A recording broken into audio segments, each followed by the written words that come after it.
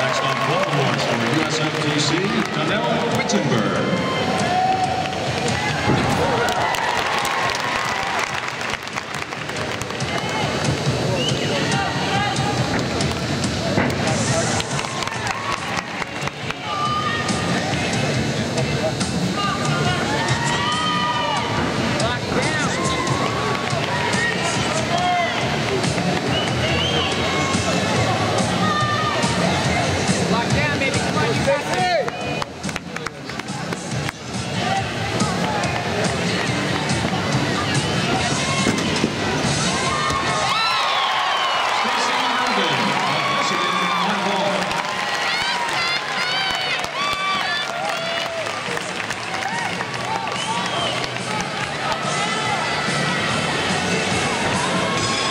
Chris Turner of